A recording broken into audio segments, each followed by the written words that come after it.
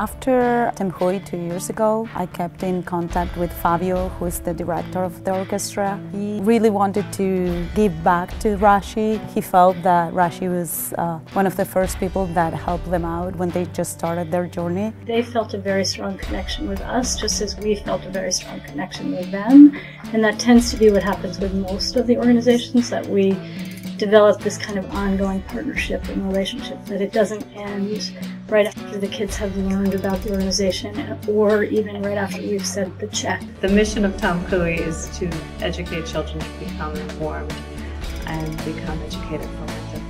It also sort of sends this message that we, we all can give, no matter you know where you are on the spectrum or the scale. There's always something that you can give, not just of money, but of yourself. They learn about the organizations in the classroom from the teachers, sometimes from going home and getting on websites and seeing what the organizations say about themselves, and then from the representatives who come in and meet with them both in smaller classroom groups as well as in the auditorium in a bigger setting.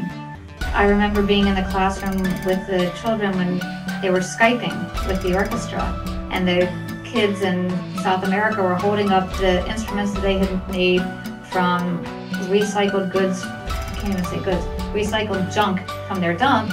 So I think they really connected with that. I think Fabio was sad in some ways that he couldn't be here originally. I mean, there, there was no way to swing that, obviously, and they weren't performing anywhere nearby at the time. So when an opportunity arose, I think he jumped on it. Quisimos venir a la escuela aquí, aprovechando nuestra visita a Boston eh, para un concierto de, de la orquesta. Eh, hemos tenido antes un, un contacto muy, interesante hace dos años con los niños aquí.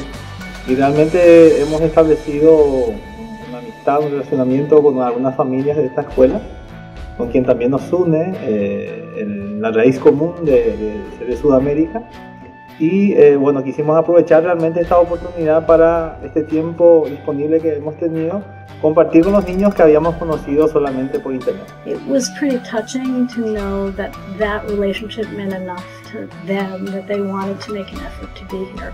Having maintained the contact with Fabio and the orchestra after Temhui, it taught me that when we think about Tzedakah and we think about what Temhui teaches our kids, it goes beyond a day at school. It goes home, it goes to everyone, and it's forever. It's for your whole life. This was it. I think as memorable as the organizations are for the Rashi students and Rashi families, Rashi becomes memorable for these organizations as well. Because there aren't a whole lot of schools out there who are doing what Rashi is doing with Tamchui. But right now, Rashi is definitely leading the way. I will never forget about this experience, and I think all our kids will never do.